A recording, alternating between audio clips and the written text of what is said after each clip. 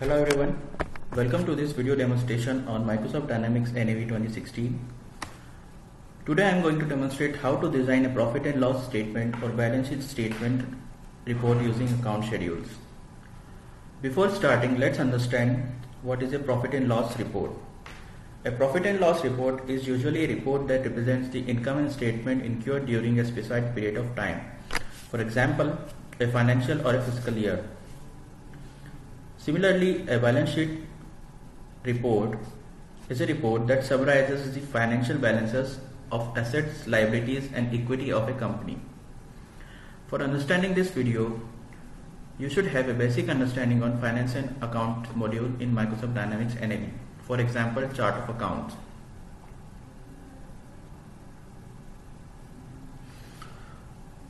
Let's start with creating an account schedule. Type account schedule in the search bar, select a proper link.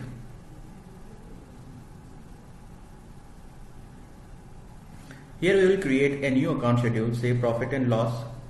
Enter the profit and loss in name. Enter the description as profit and loss statement.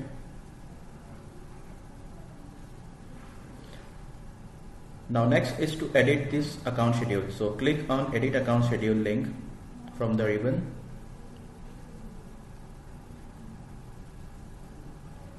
Enter the first line as profit and loss statement. This will be our first line of the report. Now click on insert GL accounts. Here I can select various GL accounts we have two type of uh, accounts here. One is the income one is the balance. For profit and loss report we need to have only income statements account. Here I will select the headings the end totals and the begin totals if required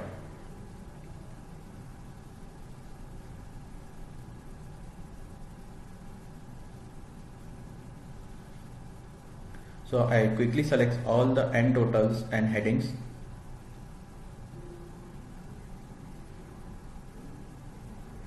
All the end totals should be included. Remember this is just a demo tutorial for this report. Account selection is purely random in this video.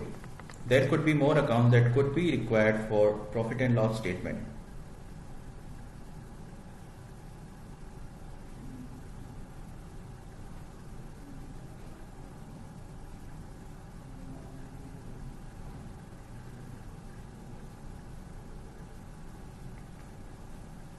Just that's it. Click OK. When I click OK all the accounts are now inserted in the account schedule screen. Now if I want to keep the headings bold italic or underline I can select it from here. That is the bold italic underline option that I have on the screen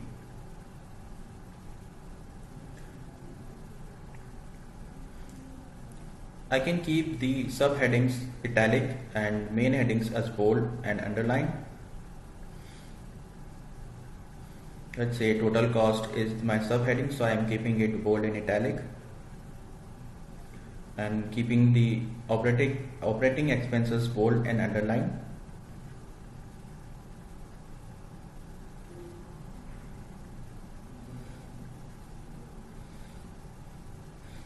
I'm keeping the last three entities as bold and the last line that is the net, in, net income as bold, italic and underline. And now click OK. Next is to select a column layout based on which report will be displayed. I have already created two default column layouts.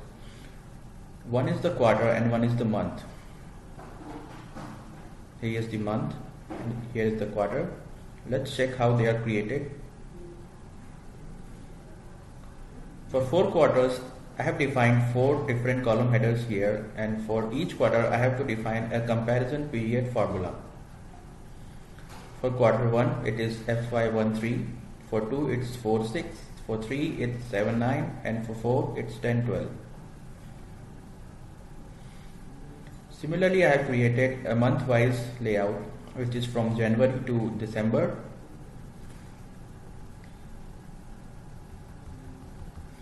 and starting from January it will be FY1 continuing to FY12 that is the December. I'm selecting quarter as the default column layout for this report. Now I'm now I'll go and run that report. That is that is the account schedule reports for that I'll type account schedule in the navigation bar.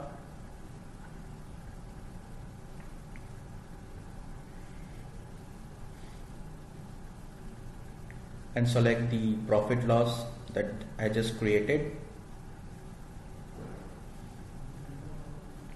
providing the date filter here and I can provide various filters such as cost budget filter, business unit filter and global dimension filter which is in this case is department and project.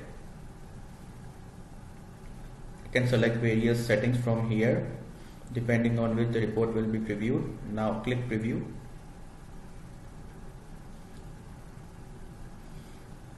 When I click preview now we can see that the report that is the income and statement accounts that I have selected are now displayed here based on different quarters that is quarter 1 to quarter 4.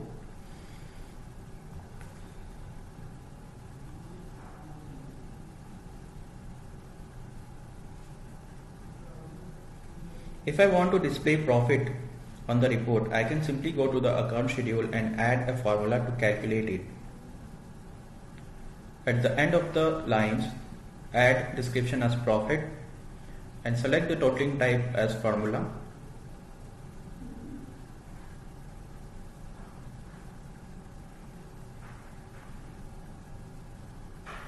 For profit, let's say I add total revenue and total cost. So I have the row numbers here. I can put these row numbers in the totaling field and just add them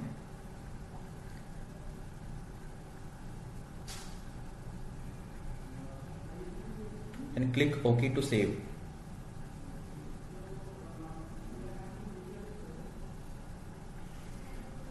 Again on running the report I can see the profit field is now added which shows the total revenue plus total cost.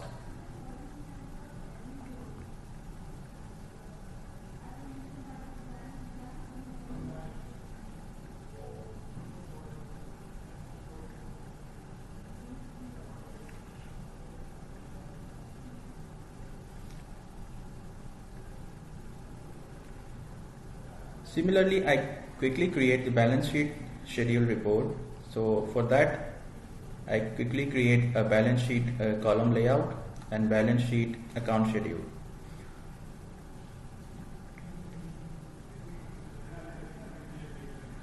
Select the default column layout as month so that my balance sheet displays as month wise report. Enter the first description as the balance sheet and quickly select the insert GL account option. For the balance sheet report, I will select the balance sheet accounts only starting from assets because balance sheet I have already uh, provided in the lines.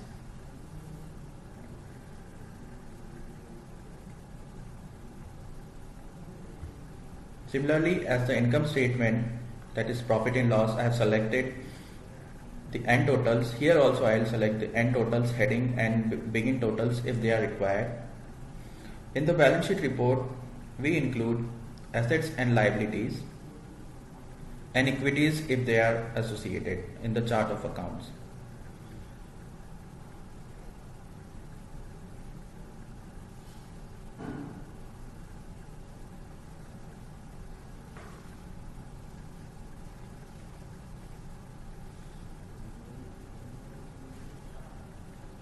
For the balance sheet report,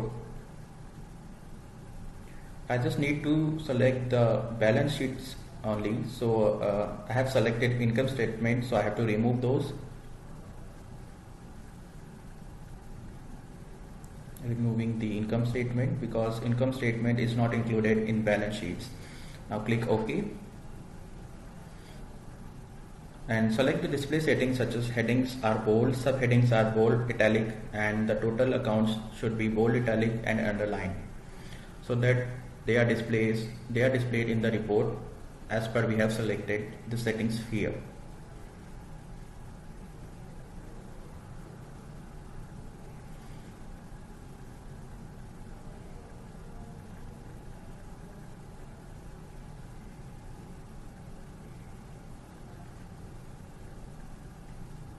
Click OK. Again I run the report. This time I will select balance sheet as the column, balance sheet as the account schedule name and the column layout comes as month because I have selected it. Now click preview. After running the report, I can now see that the balance sheet report is divided based on months that is from January to December. For the period that I have selected from 1st of January 2016 to 1st of January 2017 we can also run the report based on quarters that we have created for income statement. Let's see how it works. Here is the quarter wise view of balance sheet report. If I want to add more sub accounts within a begin total account, I can edit the account schedule to include those lines, let's say adding the vehicles and increases during the year. So I can select it from insert GL account and select the sub accounts and click OK.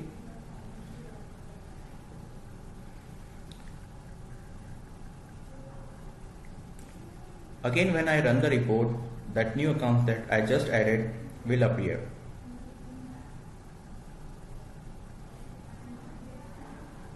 Here are the accounts that is vehicle and increases during the year